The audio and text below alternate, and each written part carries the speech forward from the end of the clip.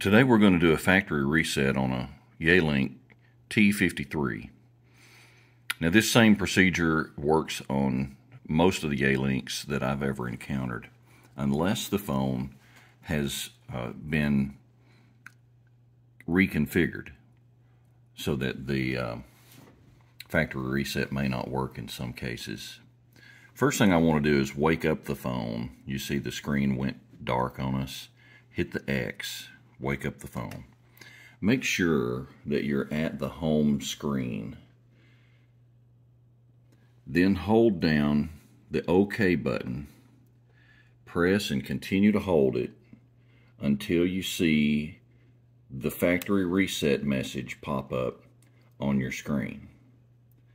Then you can press the OK button, the button beneath OK over here. And then it'll begin the factory reset.